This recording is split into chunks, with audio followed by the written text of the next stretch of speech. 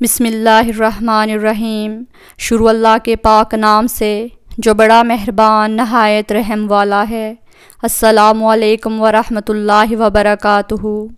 माँ की नाफरमानी की सज़ा।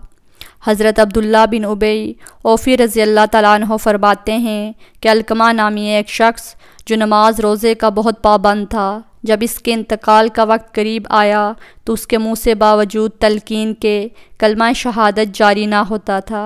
अलकमा की बीवी ने रसूल अल्लाह सल्लल्लाहु अलैहि वसल्लम की हिदमत में एक आदमी बेचकर इस वाक़े की इतला कराई। आप सल्लल्लाहु अलैहि वसल्लम ने दरियाफ़त किया, अलकमा के वालदे ज़िंदा हैं या नहीं? मालूम हुआ कि सिर्फ़ वालदा ज़िंदा है और वो अलकमा से नाराज़ है। आप सल्लल्लाहु अलैहि वसल्लम ने अलकमा की माँ को इतला कराई कि मैं तुमसे मुलाकात करना चाहता हूँ। तुम मेरे पास आती हो या मैं तुम्हारे पास आऊँ? अलकमा की वालदा ने अर्ज़ की, मेरे माँ बाप आप पर फ़िदा हूँ। मैं आपको तकलीफ़ देना नहीं चाहती, बल्कि मैं खुद ही हाज़िर होती हूँ। चुनाचे बुढ़िया हजूर सल्लल्लाहु अलैहि वसल्लम की हिदमत में हाज़िर हुई। आप सल्लल्लाहु अलैहि वसल्लम ने अलकमा के मतलब कुछ दरियाफ़त फरमाया। तो उसने कहा, अलकमा नहायत नेक आदमी है, लेकिन वो अपनी बीवी के मुकाबला में हमेशा मेरी नाफरमानी करता है, इसलिए मैं इससे नाराज़ हूँ।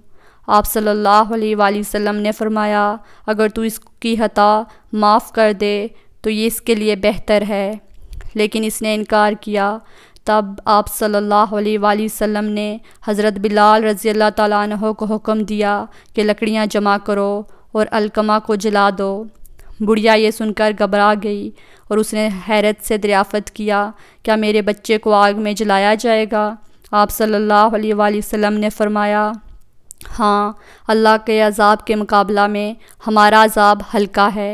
खुदा की कसम, जब तक तू इससे नाराज़ है, ना इसकी नमाज़ कबूल है, ना कोई सदका कबूल है।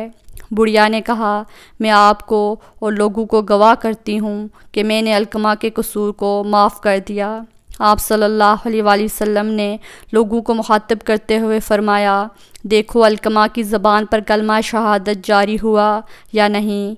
लोगों ने बयान किया, या रसूल अल्लाह अलकमा की ज़बान पर कलमा शहादत जारी हो गया और कलमा शहादत के साथ उसने इंतकाल किया।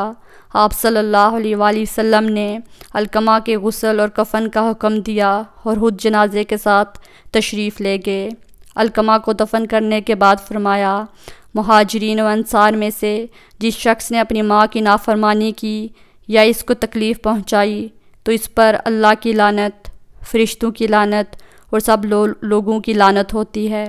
खुदा ताला ना इसका फ़र्ज़ कबूल करता है ना नफल। यहाँ तक कि वो अल्लाह से तोबा करे और अपनी माँ के साथ नेकी करे और जिस तरह मुमकिन हो उसको राज़ी करे।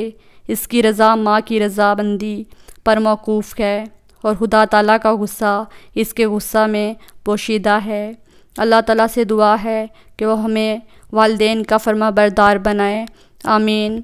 या रब्बल अल्लाह हाफिज़। अस्सलाम वालेकुम वरहमतुल्लाहि